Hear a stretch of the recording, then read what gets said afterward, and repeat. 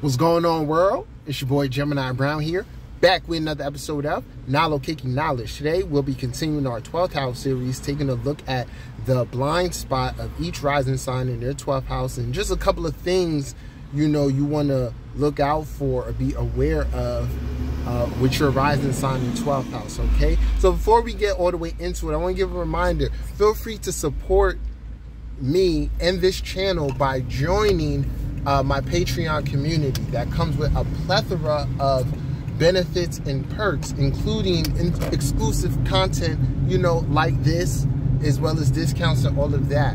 And really, we're moving into a, a period where it's going to be essential to support your creators. All right. So I'd appreciate it if you join my Patreon and all of that. So let's get into it. All right.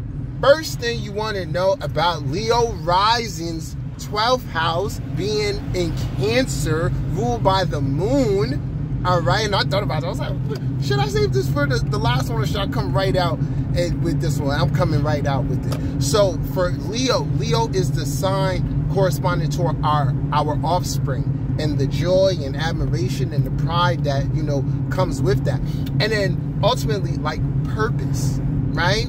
we, we could say, and keep in mind, different strokes are different folks. But one of the natural purposes in life is to reproduce, okay, and have that offspring reflect that creative essence of yours, and then it get it naturally that even if you were never anything in life, being a parent would give you an actual creative identity.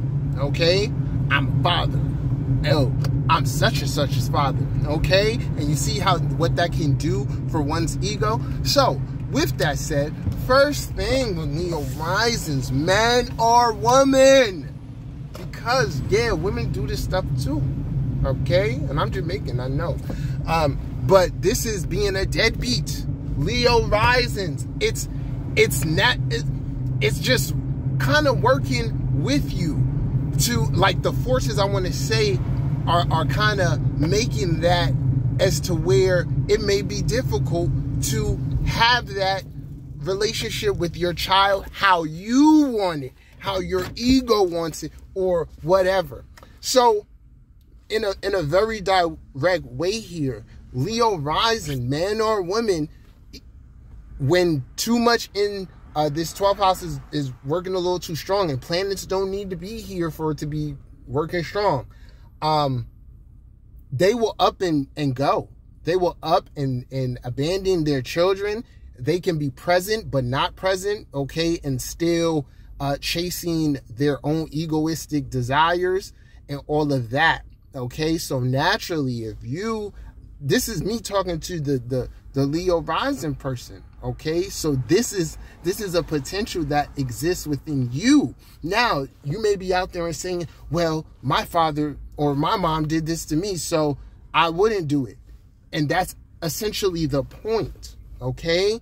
If if you've experienced that then it's a, at a 10 times greater clip that that karmic pattern needs to end with you. Hence why you're leo rising okay?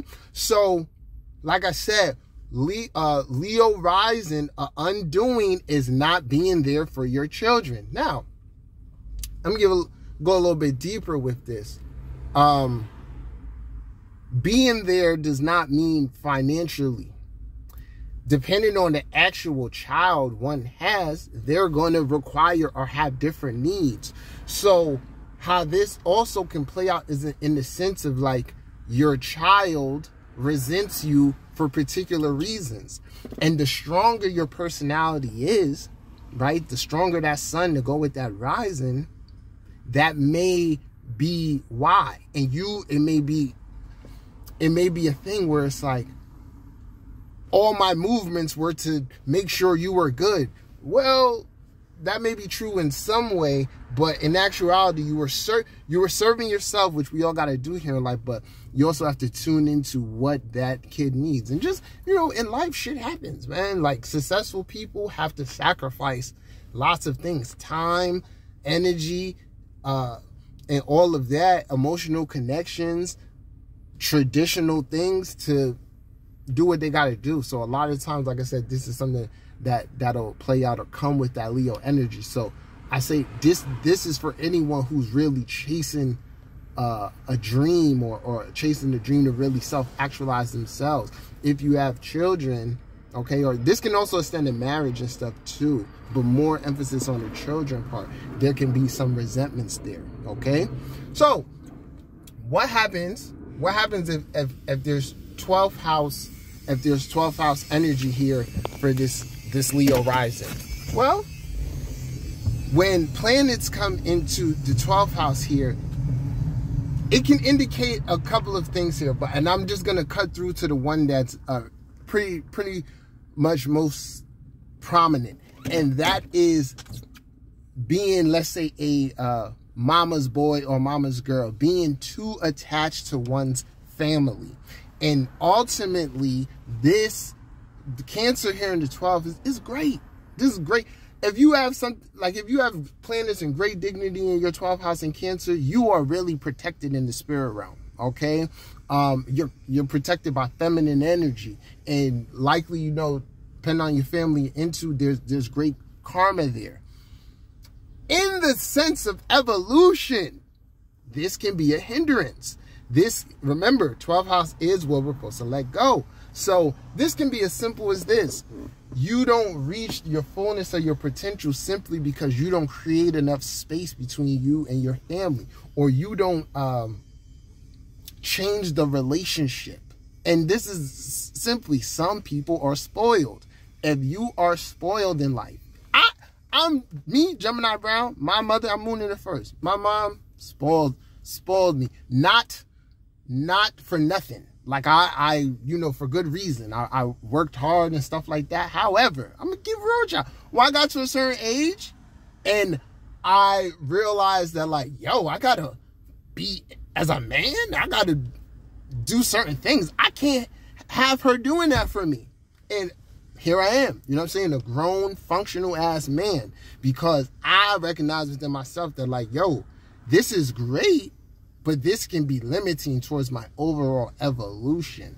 So I'm going to go here for the emphasis on the men here. Fellas with this. Like I said, we got planets here. You need to you need to be aware of your mommy issues, even if they're not apparent. Um, and not projecting that onto a partner. Neediness, okay? There's a layer of self-sufficiency that has to be had with this uh, position, okay? All right. So last thing here with Leo, with uh, Leo rising, Cancer in in the 12th uh, 12th house here that I want to mention is sensitivity. But I want to spin it to you in a sense like this. Um, cancer is, is, is it's the crab, right? Soft on the inside, shell on the outside.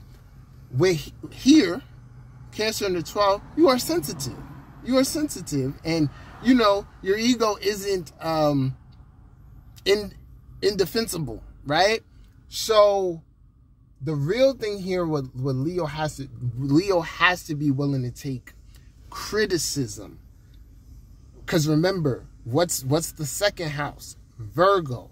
Being able to discriminate what is something of value to you and i want to look at it in the sense you know like leo's archetype of the king no one tells, really tells the fucking king what's what. They let his ego run amok, which can lead towards narcissism and uh, being emotionally disconnected and all of that. So if you can have, what you want to hear is like if you have people in your life that are honest with you and that that are not maliciously uh tearing down your ego but like telling you what's what. You are you need to accept that energy. Um going away from people going away from people gotta get away from that noise going away from people who tell who tell you things you don't want to hear is playing towards your own ego all right? And ultimately that's a, a self-defeating thing so be open towards Not just criticism, but honesty. You want people to be real with you. All right. This is my interpretation of Cancer in the 12th. Hope you guys enjoyed. All my Leo Risings, chime in. Let me know what you think. If you haven't subscribed to my channel, you could do so now. Join the Patreon. Uh, if you need a reading, holla at me. Till next time, peace.